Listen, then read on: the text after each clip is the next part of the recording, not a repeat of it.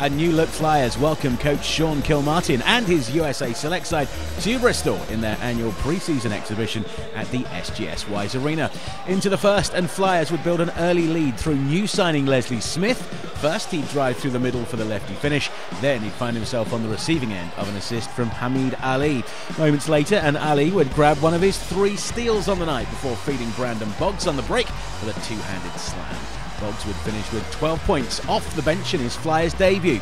Daniel Edozie would extend the lead to double digits with an open shot from the elbow before Mike Vigor would find him open inside for the hoop and the foul. Edozie would finish with a double-double of 13 points and 15 rebounds. Final minutes of the first, and Leslee Smith would cap off a 9 2 run for the hosts with another three point play. Smith would have 11 of a team high 16 points in the first quarter. Into the second, and USA Select would begin to claw their way back into the game. Larry Thomas knocking down back to back threes from the wing to bring the visitors to within six. Then he'd find Brandon Winford for the layup and the foul to cut the gap to just one final seconds of the first half, and the Americans would apply full court pressure to force the Flyers' turnover as Larry Thomas makes the open layup to give USA Select their first lead of the game. Flyers would trail by one heading into half time.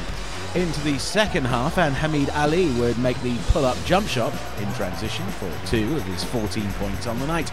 Then Lavelle Cook would find Brandon Boggs out of the double team, who feeds Daniel Edozie inside for the monster two handed slam. Minutes later, and Greg Street would drive baseline to find Boggs in the paint, who'd finish a two handed slam of his own to put the Flyers up by five. But USA Select would respond once again, picking off the steal and going coast to coast for the fast break dunk. Game tied at 61 with eight minutes to play in the fourth. Flyers would pull away once again before Michael Lyons dishes it off to Larry Thomas for two of his game high 20 points on the night. But Bristol would hold on to the win, 74 points to 69, as Coach K and the Flyers begin to build some momentum ahead of the new BBL season. Don't forget the Flyers take on Worcester Wolves in the final game of pre-season this Saturday night, and tickets are still available at bristolflyers.co.uk. From World of Sport on Sam FM, I'm Downsy, supporting the Bristol Flyers every step of the way.